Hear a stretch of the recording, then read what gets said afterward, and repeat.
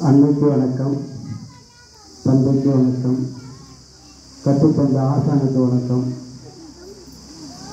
மதிப்பிற்கும் மரியாதைக்குரிய இப்பள்ளியினுடைய தலைமை ஆசிரியர் அவர்களுக்கும் இந்த எழுபத்தி ஐந்தாவது சுதந்திர தினம் முடிந்து எழுபத்தி ஆறாவது சுதந்திர தினம் தொடக்க விழாவிற்கு வருகை தந்திருக்கின்ற நம்ம கிராம பெரியவர்கள் துணைத்தலைவர் வார்டு உறுப்பினர்கள் மற்றும் இருபால் ஆசிரியர்கள் மாணவ செல்வங்கள் உங்கள் அனைவருக்கும் முதற்கண் வணக்கத்தை தெரிவித்துக் கொள்கிறேன்.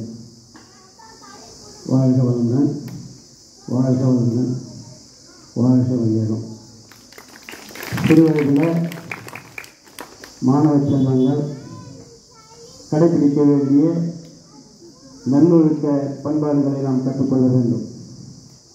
ஆரம்பத்திலிருந்தே அந்த மனம் பக்குவமடைந்தால் இந்த சமுதாயம் ஒரு சிறந்த சமுதாயமாக அமையும்.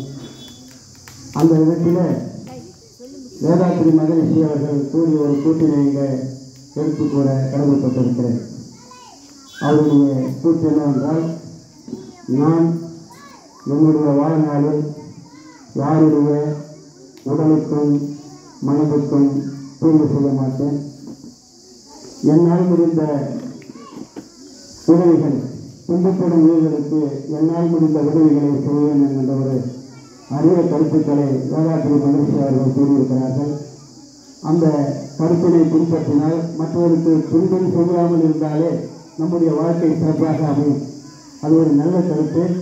ஆகவே அந்த கருத்தின் அடிப்படையில் மாணவர்கள் பின்பற்றி பிற்காலத்திலே ஒரு சிறந்த ஒழுக்கசீலராக உருவாக வருவீர்கள் என்ற நம்பிக்கையோடு அந்த கருத்தினை இங்கே எடுத்துக் கொண்டிருக்கிறோம். மாணவ செல்வங்கள் இன்று நாம் சுதந்திரத்தை கொண்டாடி கொண்டிருக்கின்றோம். இந்த சுதந்திரம் என்பது சாதாரணமாக நமக்கு கிடைத்து வருகிறது.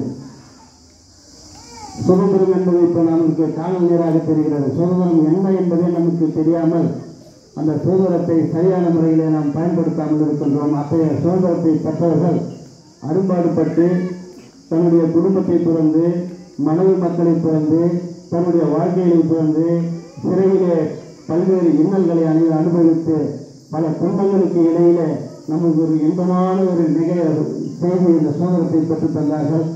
அவ்வாறு பெற்றுத்தந்த அந்த சுதந்திரத்தை நாம் சிறப்பாக பாதுகாப்போம். அந்த சுதந்திரத்தினுடைய கொள்கையின்படி நாம் வழிநடப்போம் என்பதோடு மட்டுமல்லாமல் இங்கே நிறைய குழந்தைகள் பெரும்பாலும் காமராஜரை பற்றியே கூறினார்கள். அந்த காமராஜரை பற்றி கூறுகின்ற போது எனக்கு ஒரு நினைவு வருகிறது.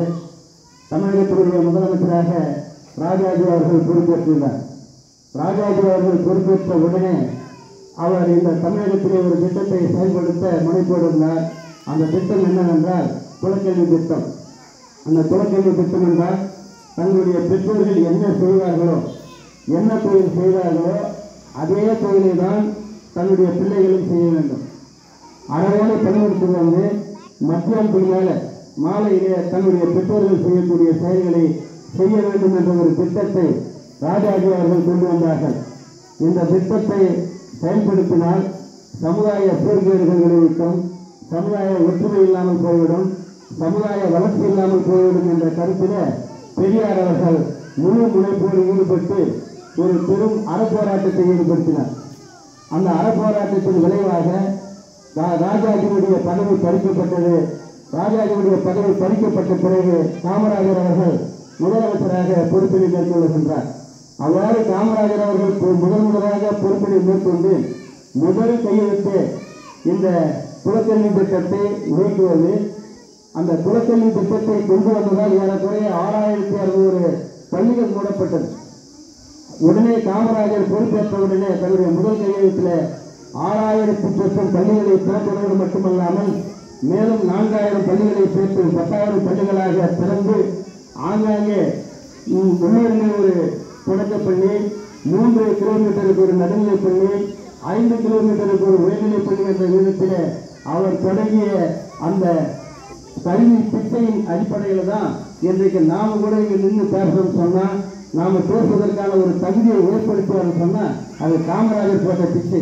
அந்த பிச்சையின் அடிப்படையில் தான் நாம் வந்து அ- அரசு பள்ளியிலே ஆரம்ப பள்ளியிலே இலவச கல்வியை பயின்று நாம் வந்து இந்த சமுதாயத்தில் இங்க ஒரு மனிதனாக நிற்பதற்கு வித்தித்தவர் காமராஜர். அதுபோல மாணவ மாணவிகள் அனைவரும் சிறு வயதிலேயே நன்றாக படிக்க வேண்டும். படிப்பு ஒன்றுதான் இந்த சமுதாயத்தை மாற்றக்கூடிய மிகப்பெரிய சக்தி. படிப்பு ஒன்றுதான் இந்த சமுதாயத்தை ஒரு நல்லவனாக மாற்றக்கூடிய சக்தி. இந்த படிப்பு ஒன்றுதான் இந்த சமுதாயத்தில் நல்லொழுக்கங்களை கற்றுத்தரக்கூடிய ஒரு பட்டறையாக இருக்கக்கூடிய ஒரு கல்வி. ஆகிய அனைவரும் கல்வி ஒட்டு கல்வி ஒன்று மட்டும் நீங்கள் கற்றுக்கொண்டால் இந்த சமுதாயத்தை உங்களால் மாற்ற முடியும். ஒரு சிறந்த சமுதாயத்தை உங்களால் உருவாக்க முடியும். இந்த சமுதாயத்தினால் இந்த நாட்டிற்கு நன்மை ஏற்படும். ஆகவே அனைத்து மாணவ செல்வங்களும் நன்றாக நமக்கு இட்ட வேலை ஒன்றே ஒன்று படிப்பு தான் படிப்பு தவிர வேற இல்லை. நமக்கு இப்பக்கூடிய அந்த படிப்பு என்று சொல்லக்கூடிய படிப்பை மாணவர்கள் தினந்தோறும் படிக்க வேண்டும். ஆசிரியர்கள் கொடுக்கக்கூடிய வீட்டு பாடங்கள் அனைத்தையும் படிக்க வேண்டும். சிறப்பாக படிக்க வேண்டும். தவறில்லாமல் படிக்க வேண்டும். ஒழுக்கத்தோடு கூடிய கல்வியை மாணவ மாணவ செல்வங்கள் பெற வேண்டும் என்று கூறிக்கொண்டு இத்தகைய வாய்ப்பிற்கு அளித்த ந- அளித்தமைக்கு நன்றி கூறி விடைபெறுகிறேன் நன்றி வணக்கம்.